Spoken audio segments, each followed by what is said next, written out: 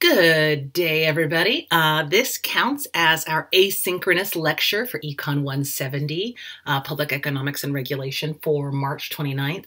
Um, instead of having a synchronous class today, we're having an asynchronous class, which means we don't have an official Zoom meeting. Um, and so today what we're going to do is I'm going to go over some of the most common um, multiple choice questions from the midterm. I'm going to go over the midterm in general. I'm going to go over uh, multiple choice problems that a lot of people had difficulty with and explain them, and then talk about the short answer problems, and then what we'll be doing in the next couple of weeks going forward. Um, hopefully, this is super productive and useful for you. Um, you can watch this anytime this week, and we will return to a normal schedule starting Friday, April 2nd. Um, so what we're going to do first is go through a couple of the multiple choice questions that a lot of people seem to get wrong.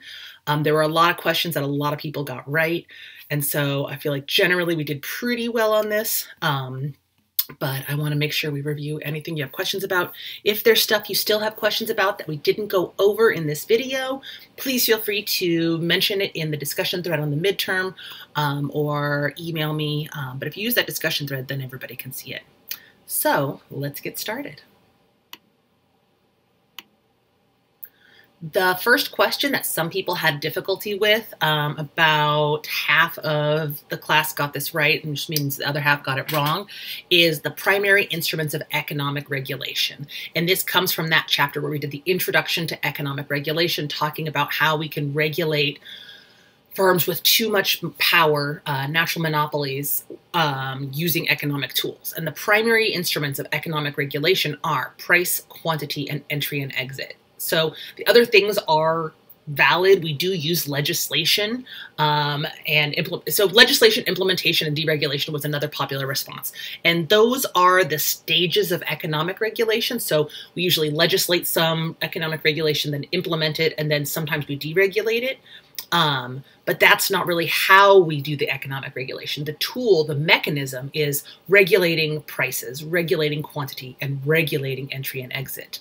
Uh, the other option, marginal cost, average variable cost, average total cost, those are ways we can measure um, predatory pricing and sort of look at as a guideline for what's an appropriate price for a natural monopoly, but it's not really an instrument of economic regulation. It's a subset of regulating price and how we might do that. Uh, so hopefully that makes sense. So the primary instruments of economic regulation are price, quantity, and entry and exit. So we can tell firms this is the price you set your good or service at in a natural monopoly. Um, this is how much you have to produce for the market or how much you have to make available to the market, um, how many firms can be in the market, whether or not they're allowed to exit, things like that. Um, and then there were other instruments of economic regulation that weren't the major ones, things like advertising. We talked about different types of advertising that's allowed or not allowed, um, and that kind of thing um, quality regulation is another one. But the two primary or the three primary instruments are that price, quantity, and entry and exit.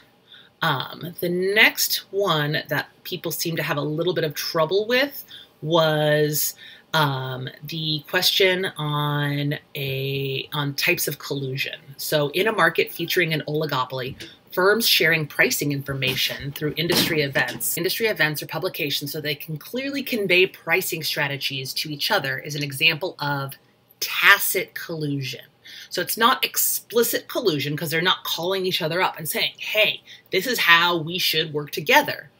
Hub and spoke collusion is when firms collude with um, either retailers, so a producer colluding with a retailer or vice versa. And so it's this idea that there's a system of, say, um, uh, an industry producer colluding with um, retailers or vice versa. That was the example of the toy store.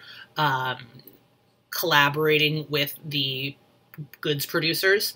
Um, and so it's this idea that there's lots of retailers in the um, sort of colluding with a single producer. Does that make sense? I'm not quite explaining that well. So think about it this way, right? We had um, in the toy example, we had retailers like Toys R Us, and um, I don't know, let's say Target and Walmart, and they were colluding with a producer. And so you get that hub and spoke relationship, right? That sort of retailers colluding with the sort of higher level or the previous vertical firm. Um, another example of it would be if we were all producing sodas and we collaborated with the makers of the aluminum cans, right? So it's a um, an input producer collaborating with the next stage of production or the retailer, or something like that. So that's hub and spoke collusion. Tacit collusion is when firms collude tacitly, not explicitly, but sort of casually without saying it. So, um, an example of tacit collusion from daily life might be if you're taking an exam and you see the person next to you stressing and you just sort of like back away from your exam paper so they can look at it. You didn't make that plan, but there is a sort of a, a tacit agreement that you're going to give them access to your information. Um, and so, again, with tacit collusion, it's not explicitly decided, it's not communicated, but by putting that out there, you're giving the other firms the opportunity to engage in the same sort of pricing behavior that you engage in. So, the example of airlines publishing fares in industry magazines uh, meant that, um, in industry publications, meant that other airlines knew what they were going to be doing price wise and they could match it so that consumers couldn't. Um, exploit price differences and so they would behave like a, a monopolist like a collude like in collusion without having explicitly talked about it so that's tacit collusion um, one of the reasons that collusion um, collusion often fails. There's an incentive to break deals. It requires compliance. Coordination is difficult. Um, but if firms are able to collude, firms um, will definitely profit. Um, it's going to benefit profit maximizing firms because they can either reduce quantities or raise price or both in order to maximize profits. So um, that's uh, the three reasons collusion fa- uh, does fail, and one reason collusion doesn't fail is that it maximizes profits. Um, about a third of people missed this one. Um, this is sort of a the kind of question I don't love to ask all the time because it's uh it's an important question though. So I asked true or false, section 2 of the Sherman Antitrust Act makes it illegal for a firm to have a monopoly. Being a monopoly is not illegal. Remember, it's monopolizing the market that's illegal. And so that's a really important distinction. So even though I don't love that question, it's a little bit of a gotcha question. It is important. And then the last one that some people had difficulty with um, was Pricing below marginal cost may be rational for a firm if they are trying to break into a market. That's known as penetrative pricing. So remember, um, predatory pricing is pricing below. Um, pricing so low that you force other firms out of the market. It's predatory. You're behaving in a predatory manner. You're trying to kill off other firms. Penetrative pricing is you're trying to break into the market get through that barrier that other firms have created um, because of some barriers to entry or something like that. So that's an important distinction. Otherwise, in general, people did really well on the um, on the multiple choice portion. A lot of the grades were in the B and A area, so that's always really good to see. That makes me happy because that means that you were paying attention, or the questions were too easy. Um, we're going to say that you were paying attention and learned this stuff really well, and that is good for me. Now let's go to the short answer portion. Um, the short answer portion hopefully wasn't too challenging. I'm in the process of grading them right now. If you have specific questions, please do let me know. Um, there were, was it three problem or four problems and an extra credit problem. Um, and so we'll go through that and I'll go ahead and show you on my screen as we go through that. And hopefully that makes it a little more interesting than just looking at my face. So let's do that. So here is the short answer portion of the midterm. The first one is a prisoner's dilemma problem. And so what I ask you to do is solve this prisoner's dilemma by first finding the dominant strategies for the two firms and then talking about the Nash equilibrium and the optimal outcome. So I'm going to go ahead and um, draw it up here too, just for the sake of having it. But we have two firms here, and they can either adopt a workplace safety equipment, um, and they expect their profits to be a function of adopting that workplace safety equipment. So the expected profit after deciding to adopt or not adopt the two competing firms that sell uh, similar goods is shown below. So we have firm one can adopt or not adopt. You know what? I don't think I do have to draw this on the board. And firm two can also. The way we solve a prisoner's dilemma is we hold one person's behavior constant, one actor's behavior constant, and then see what the second actor would do, and then do the same for the other side. So, what we'll start doing is we'll start with holding firm one constant at adopt. So, I'm going to highlight that. And so, if firm one adopts the new safety equipment, firm two has to decide what to do.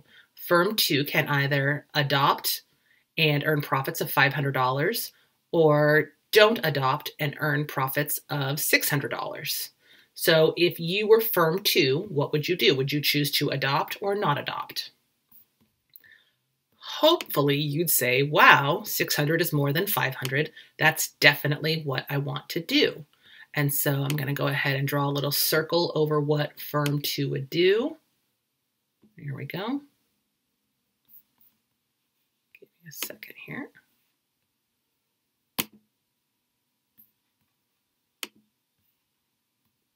To make this just right, there we go. So firm two, if firm one adopts, firm two will not adopt. Now let's look at what firm two would do if firm one doesn't adopt. So we'll hold firm one constant at adopt, at don't adopt, and see what firm two should do. So if firm one doesn't adopt the new workplace safety, firm two can either adopt and earn $150 or not adopt and earn $200. If you were firm two, what would you do? Would you adopt or not adopt? Again, $200 profit is higher than $150 profit, so not adopting makes the most sense. So we're going to tend to see, oops, here we go. firm two, well, what did that do? There we go. Is going to choose to, there we go. Not adopt in that case also. So now we know that firm two has a dominant strategy. No matter what firm one does, their best strategy is to not adopt the new safety features. So firm 2 has a dominant strategy. Now we can hold firm 2 constant and ask the same question. So let's put that in here.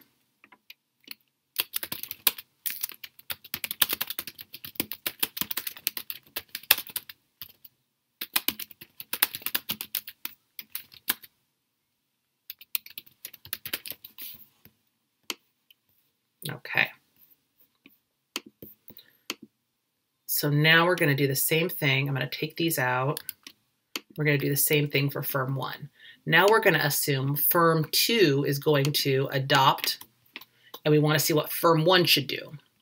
If firm two adopts the new safety features, firm one has the choice between adopting and getting $500 profit or not adopting and getting $600 profit. If you were firm two, or sorry, firm one, if you were firm one, what would you do? If you're firm one, you have the choice between adoption $500 profit or not adopting $600 profit, you're going to choose to not adopt, right? You want that higher profit. We can look at the same thing if we have firm to not adopt, and we're going to see that same outcome. And this is what we expect in a prisoner's dilemma.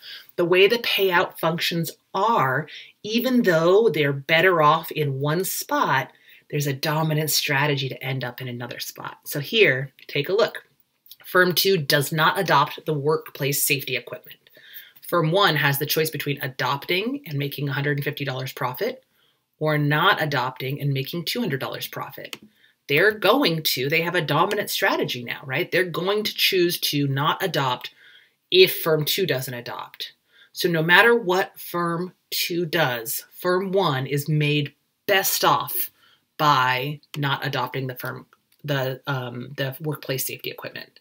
So firm one has a dominant strategy to not adopt the safety equipment, and firm uh, one also has a dominant strategy to not adopt the workplace safety equipment. And we can look at it and see it.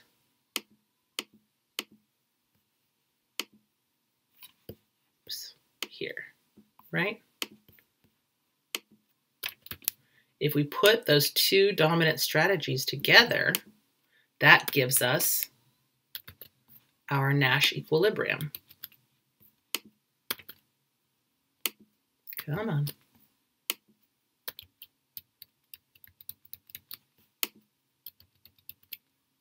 There we go. So firm two has an incentive or has a dominant strategy to not adopt, and firm one has a dominant strategy to not adopt.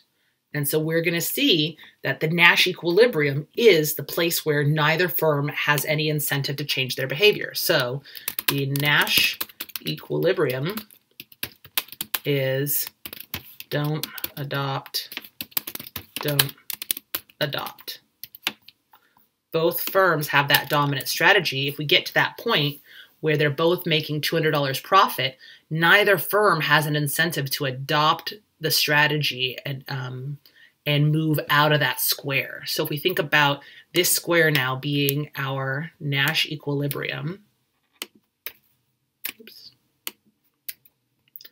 and I'll highlight it in let's say purple. Um, if firm two is here making $200 profit, um,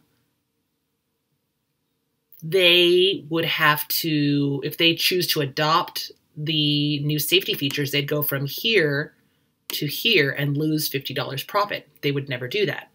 Firm one, on the other hand, they're here at Don't Adopt. If they choose to adopt the safety features, they go from 200 to 150. So there's no incentive to move. On the other hand, what would be the optimal outcome? The optimal outcome, if they both adopt the safety equipment, they'd actually both make way more money. They'd both make $500 in profit.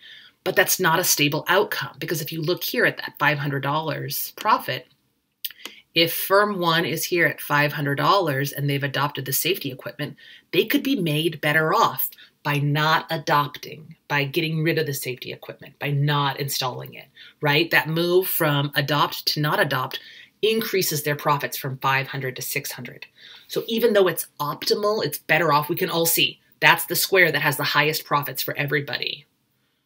It's not stable because there is an incentive to leave, just like we see over here. If this is firm two's profits and they're both adopting, they're better off. 500, 500 is better than 200, 200. But if firm two chooses to not adopt, they move over to this square and they increase their profits. So the optimal outcome of adopt adopt gives the highest level of total welfare but is unstable because there is an incentive to change the firm's choice in pursuit of higher profits. And then I go through and fix all my typos. Does that make sense, hopefully? If not, let me know. This is the this is the outcome of a prisoner of a prisoner's dilemma is this Nash equilibrium with this sort of missed out on better optimal outcome. So it's a pretty standard outcome. Next problem here says this graph below indicates monopolists' price and quantity indicate the deadweight loss associated with monopoly power in a market. Where would a regulator hoping to increase welfare to perfect competition level set price? What would the competitive quantity supply be? Basically, what you need to do for this is find the firm's monopolist quantity price level and then the perfect competition point. And so we can do that here. The monopolist is going to produce, every profit maximizing firm is going to produce at marginal revenue equal to marginal cost. So that's going to be right here is the monopolist's production point. A monopolist is going to produce 100 units and they're going to charge a price, the highest possible price they can, which is going to be based on the demand curve. So a monopolist is going to produce 100 units and charge $65. In perfect competition, a firm would produce over here, oh goodness, behave dots, um, at this higher quantity and lower price where marginal cost is equal to the demand curve. And so if we wanted to look at the dead weight loss associated with a monopolist, it's going to be, and you can do this a hundred different ways. Well, not a hundred. You can do this a bunch of different ways. You can draw the area, which is this dead weight loss here, right? That's the dead weight loss associated with a monopolist.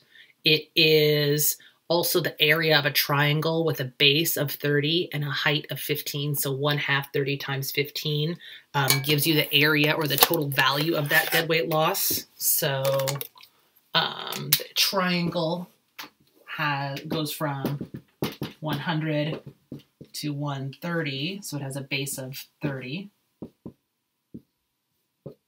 And it goes from 40 to 65. So that means it has a height of $15, right? Oops. So one half base times height gives us our dead weight loss value of 30 times 15 times 0.5. $225 of welfare, the area of that triangle. That's the deadweight loss. That is the welfare loss associated with monopoly power in this market. If I were a regulator, if we were regulators trying to increase welfare to competition levels, we would set price at $40 and the competitive quantity would be 130, this yellow dot here. Hopefully that makes sense. This shouldn't be too new. I know, you know, your econ 1B or 100B might have been a long time ago, but this is pretty standard stuff, right? Um, looking at how a monopolist reduces welfare. So hopefully this wasn't too challenging. Uh, short answer problems are pretty more specific. Uh, why is pricing for a two-sided platform different than pricing for other goods? How do two-sided or two-party platforms set prices? What can we infer about the fact that companies like Facebook and Google charge very little for their users or nothing? So the main thing is that with two-party platforms or two-sided platforms, um, you can break down the price for each side differently depending on the value associated with being on the platform. So you basically have two pricing structures, one for each side. That's the big difference, right? So think about how much um, an Uber driver pays to be on Uber or how much of their their income they give up versus how much a passenger pays and how much that goes to Uber versus the rider. Um, think about um, oh, I was just thinking of a good one. You can think about a used car dealership as being a sort of analog two party platform, a two sided platform. They take a car from uh, you and pay you for it and then sell it at a markup to someone else, sort of a middleman position, right? So a two sided platform is connecting one party with another. And so there could be two different prices for those groups based on the value. Uh, we talked about dating apps, we talked about auction sites, we talked about um, connecting um, buyers and sellers on Amazon and eBay. Um, they can set prices based on the value of accessing the other party. So if it's really important to me to access students and I need to use a media platform to do that, like YouTube, if it's really valuable to me, then YouTube can charge me. On the other hand, if viewers really want to access my content, then they can charge viewers. They can charge viewers by imposing ads as a cost or charging you to remove the ads. And so that reveals the value to the two parties. And so that's a really useful way to think about it. We can infer from the fact that companies like Facebook and Google charge little or nothing to use their services that they're getting benefits from somewhere else and or they're charging the other side. So the fact that Facebook is pre is free means that the other side of the platform is where all the expense is coming from. So if we think about Facebook as not being a social network but as being a way for advertisers to access specific markets, the fact that we as the people who are marketed to pay nothing means that the advertisers pay for access to us because they value accessing us. Does that make sense? Same thing with Google. You don't pay for a Google search, but advertisers pay for priority, for types of advertising, for different things. And that's because accessing our eyeballs is way more valuable than us accessing advertisers. We don't actually want to access advertisers. So that gets at the nature of two sided platforms. Uh, number four, explain the three modern theories of predatory pricing. What do they assume and how can they help monopolists maintain market dominance? So, this one was pretty specific. There were three main theories. Um, one of them was test market predation, this idea that firms can use predatory pricing to obscure the real prices and keep new or incumbent firms from entering the market. Um, there was the theory of financial market predation, which is based on the idea that financial markets have a little bit of an information asymmetry problem. They sell complex goods, and so it's hard to tell when a financial industry or a financial market is doing a good job. Oops, sorry, guys. Um, and um, so financial market predation is this idea that if you don't know it's hard to know the nature of the quality of goods in financial markets. There's some information asymmetry. It can be hard to tell when a financial market or a financial firm has gone under because they did a bad job versus they were subject to predatory pricing. And so, because it's harder to discern the quality of the products, we can see predatory pricing be really effective in financial markets. Um, if we were looking at sandwich shops and a really, it's really easy to tell when a sandwich is really good. If a really good sandwich sandwich shop goes out of business, we could say, wow, how does that make sense? Those were the best sandwiches I've ever had. They always had lines out the door. Financial industry, financial markets, it's a lot harder to tell the quality and kind of the good because of the complexity of the goods. And so it's easier to engage in that predation without knowing for sure. And so you can sort of make it look like a firm is taking losses because they're bad, not because they're subject to predatory pricing. And then the third um, example of a modern theory of predatory pricing was signaling theory of predatory pricing. And this was the idea that predatory pricing wasn't necessarily going to force firms out of business, but it created a signal that sort of acts as a barrier to entry and says, hey, this market is really competitive. Are you sure you want to be in here? I don't think you can cut it. And so it's sort of um, signaling that this is a really competitive market and that you don't want to engage. So you can kind of think about Amazon, right? We've debated back and forth whether they're actually engaging in predatory pricing. You could make the argument of that signaling theory, right? They're telling other retailers, you can't compete on our level. Look how competitive we are. You might be able to compete on some small level, but we're sending a signal out there that we are cutthroat. So those are the three modern theories. Um, test market predation, financial market predation, and signaling theory of predation. Cool.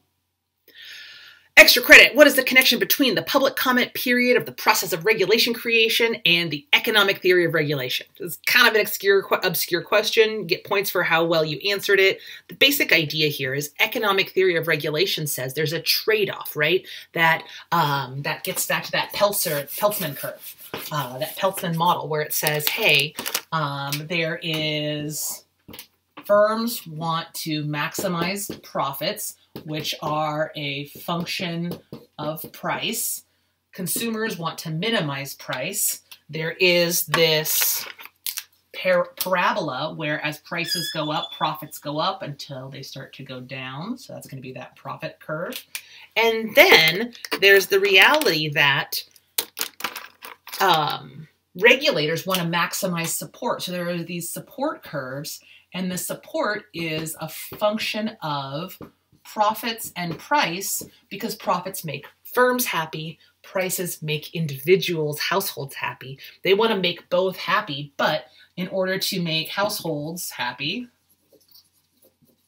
you want to have lower prices. And in order to make firms happy, they want high profits, which means high prices. And so they sort of maximize these with these support curves. That wasn't a great one. Let's try it again.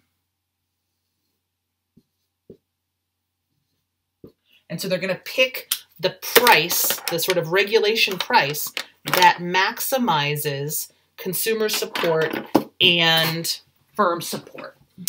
So this would be the monopolist price. This would be, we can move this over a little bit probably, because we're not saying that we'd price it at zero, but we'd price it at zero economic profit, right? So that would be our perfect competition price. And then the regulator is going to set the price here to maximize their support. The public comment period in the process of regulation creation allows interest groups, including households, including firms, including NGOs, to comment on their opinion of regulation. And so when we talk about the mechanism through which economic theory of regulation works, we can think about that public comment period as being the mechanism. So if firm and industry leaders go in and comment, this regulation is problematic, blah, blah, blah, blah, blah, blah, blah, they're saying, hey, we're going to remove support if you don't keep prices high. If consumer groups and individual households are commenting and saying, you know, we hate this regulation, we want to change it this way, blah, blah, blah, blah, blah, they're saying, hey, our support function is really going to be powered by price. And so it's a signal to regulators of what that support curve, that support function might look like. Maybe it is right here on this part. Maybe it's closer. Maybe the tangency curve is more like this. Something like that. And so we can think about that being the mechanism by which regulators learn the opinions of households and firms um, through that public comment period. Make sense? Hopefully. Hopefully that was a nice little surprise at the end to have some extra credit points. Um, that's it. That was the exam. Let me know what questions you have. Um, and let's close this out. Okay, so that's the midterm. Let me know in the discussion thread what questions you have about the midterm um, and everything going forward. So our plan for the rest of the semester, we were supposed to have covered chapter 13 on incentive regulation before spring break. We didn't make it before the midterm, and we're just going to let that chapter go. It's a cool chapter. It looks at other types of incentive regulation besides just prices and profits, so different ways to um, regulate natural monopolies. What we're going to start with next week or this week is starting to look at natural monopolies, chapter 14. Um, and so, what that's going to mean is we're going to start looking at dynamic issues in natural monopolies. So, natural monopolies that change over time. Um, we're going to look at monopolies, natural monopolies becoming not natural monopolies. And um, we're going to kind of really open up that. We're going to look at the case study of broadband internet access. We're going to look at net neutrality in the book. Um, and it's a really exciting chapter. This was really exciting a couple years ago because there was a lot of talk about what it meant to repeal net neutrality. And we saw that take place. We haven't seen the sort of doomsday um, effects of that that we thought we would, but we have seen some issues. So, for Friday's class, I want you to take a look at chapter 14, um, start looking at it. It's going to be a lot more graph based. We're going to be looking at a lot more natural monopoly models. So, again, you want to remember we're going to be looking at situations where we have cost curves that don't make it rational to have multiple firms, right? We're going to have cost curves that look more like this. And so depending on where our demand curve is, we might only have a rationale for one firm to be producing the entire quantity. But we might see situations, and this is that dynamic component, where if the demand increases enough, maybe we can start to have two firms producing the total quantity, right? So now this is Q star, which is equal to Q1 plus Q2. And so basically moving from a natural monopoly to an oligopoly and how regulations have to adjust in that situation. Um, so this is a really exciting chapter. There's a lot of really interesting stuff in there. So take a look at chapter 14. I'll put some slides up and put some notes up for you all, and we'll get started on that on Friday. Uh, remember that Wednesday, um, March 31st is Cesar Chavez Day. Campus is closed, but I will see you all back to normal finally on April 2nd on Friday. Thanks so much. Let me know what questions you have. Feel free to email, post post questions in the discussion thread, or uh, make an appointment with me on my You Can Book Me site.